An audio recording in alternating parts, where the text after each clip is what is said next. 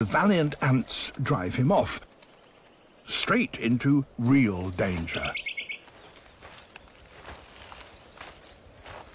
A mongoose.